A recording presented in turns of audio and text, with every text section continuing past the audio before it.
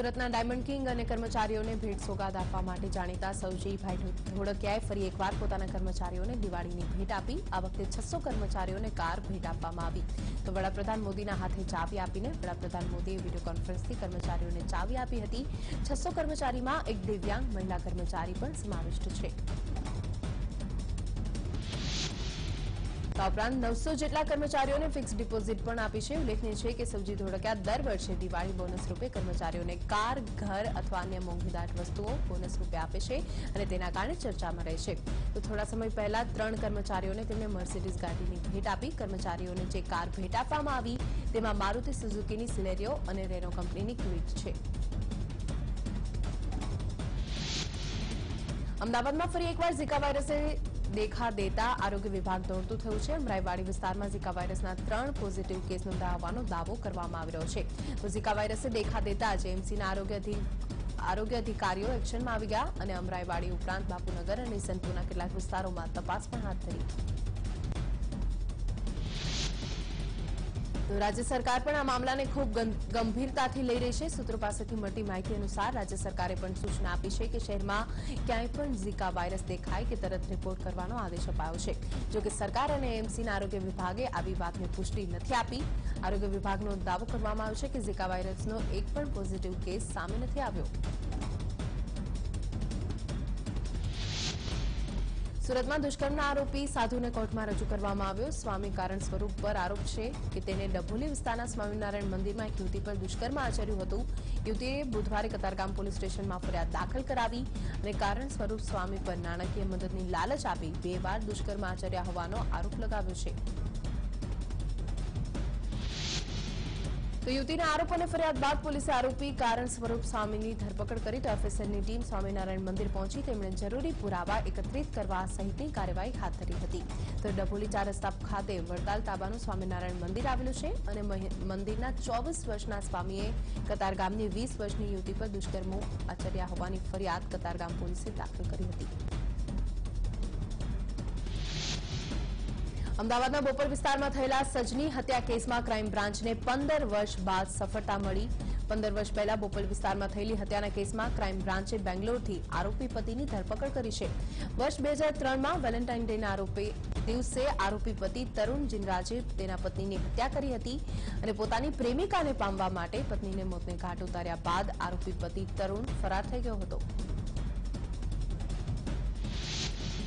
તો મહત્વનું છે કે આરોપીને પકડવા માટે ક્રાઇમ બ્રાન્ચ સતત તેના પરિવાર પર વોચ રાખીને બેઠી હતી. તે દરમિયાન તરુણે ફોન દ્વારા તેના પરિવારનો સંપર્ક કર્યો, જેમાં ટ્રેસ કરવામાં આવતા તરુણનું લોકેશન બેંગાલુરુમાં મળ્યું હતું. તો તરુણ જ્યારે તેની ઓફિસમાં ડ્યુટી પર હતો, તે દરમિયાન તેની ધરપકડ કરવામાં આવી છે.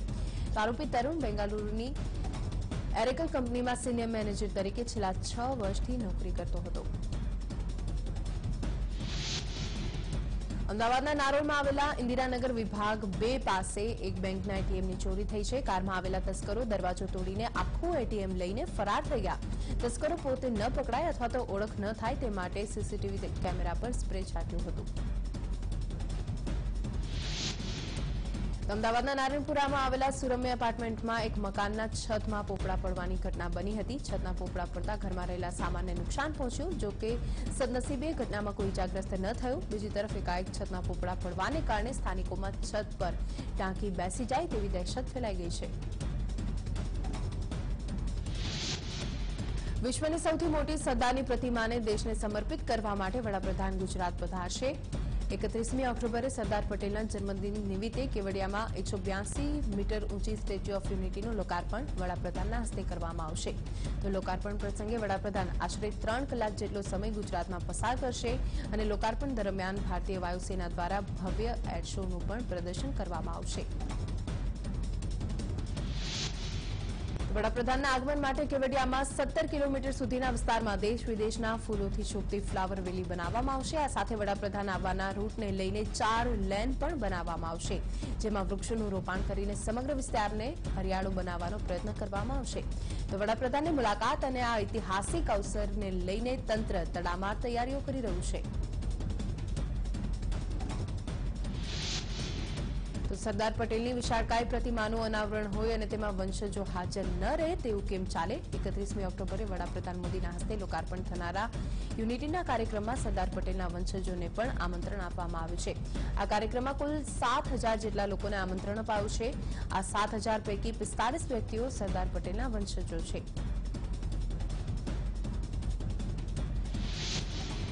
પાટણ જિલ્લામાં પાણીની તંગી સહિતના અઢાર માંગણીને મુદ્દે ખેડૂત ખેડૂત હિત રક્ષક સમિતિએ ધરણાનું આયોજન કર્યું. આ ધરણામાં પાટણ અને સિદ્ધપુરના કોંગ્રેસના ધારાસભ્યોની સાથે મોટી સંખ્યામાં ખેડૂતો પણ જોડાયા હતા. તો ખેડૂતો ધરણા પ્રદર્શન બાદ બગવાડાથી દરવાજાથી રેલી કાઢીને કલેક્ટરને આવેદનપત્ર આપશે.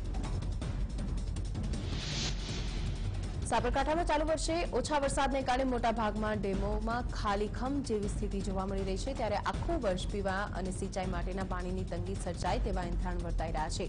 તો ગોહાઈ ડેમમાં માત્ર વીસ જ પાણી છે. ત્યારે આ પાણીનો ઉપયોગ પીવા માટે કરવો કે સિંચાઈ માટે તેને લઈને તંત્ર મૂંઝવણમાં મુકાયું છે.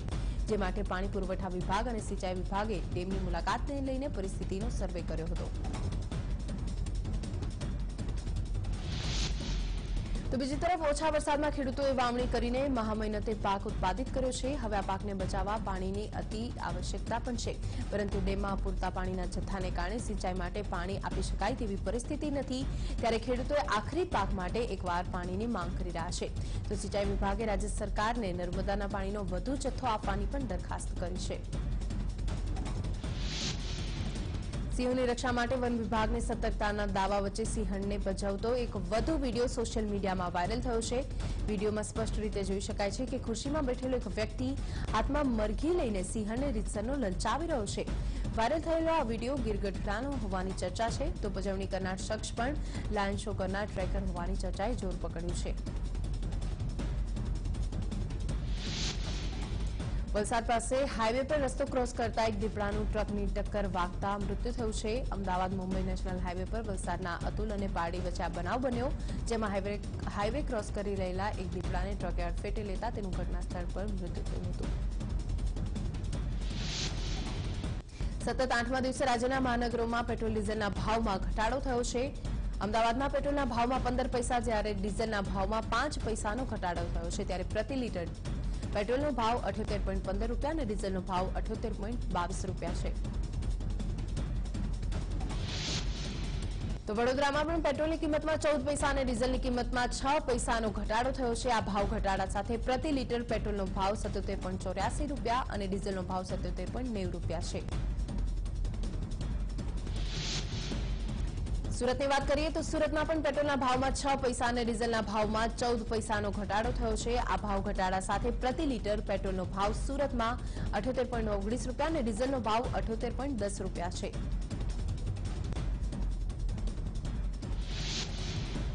અમદાવાદ સ્થિત ઝાયડસ કેડિલા જૂથની કેડિલા હેલ્થકેર અને ઝાયડસ વેલનેસે સંયુક્તપણે ક્રાફ્ટ હેન્ઝની પેટા કંપની હેલ્થ ઇન્ડિયાને રૂપિયા ચાર હજાર પાંચસો પંચાણું કરોડમાં હસ્તગત કરી છે અને આ હસ્તગત સાથે હેઝ ઇન્ડિયાની ચાર મહત્વની brands Complan, Glucon D Nycil અને સિમ્પ્રિતિ ઘી બ્રાન્ડનો સમાવેશ થાય છે.